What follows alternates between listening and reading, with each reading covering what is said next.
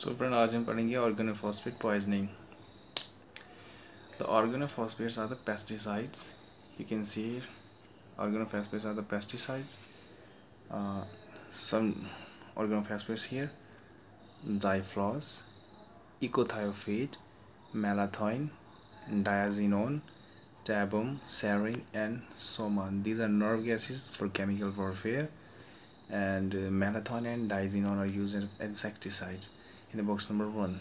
This this is the general structure for uh, organophosphates. Here you can see the phosp P double bond O yeah, alkyl group C R1 R2 and R3 what are the symptoms? Patients are presented in organophosphate poisoning. These are symptoms you can simply remember it the by the word sludge. S and the box number two you can see here. Box number two. S L U D G E sludge S for salivation lacrimation urination diarrhea GIT distress and emesis. Now in the box number four this one the mechanism of action. Friends organophosphates simply phosphorylate the acetylcholinesterase enzyme at esteratic site and forms a covalent bond there.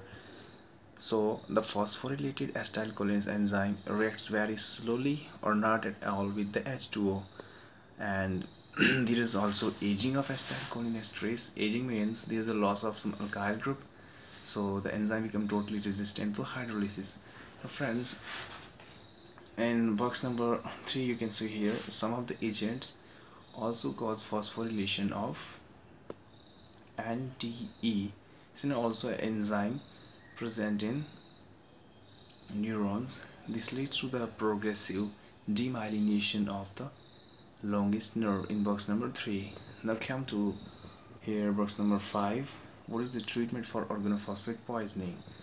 So there are specific antidotes. First is atropine and the seconds are cholinesterase reactivators. These are basically oximes for example these enzymes are pralidoxime obidoxime and diacetyl monoxime.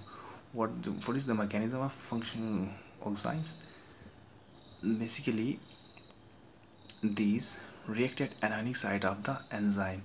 For example in carbamate poisoning these are not used because anionic site of the acetylcholinesterase enzyme is not free for its attachment. So this is a very short video regarding the organophosphate poisoning hope you love it. And if you love this video like this video please subscribe to my channel for more such short videos uh, for very important topics. Thanks for watching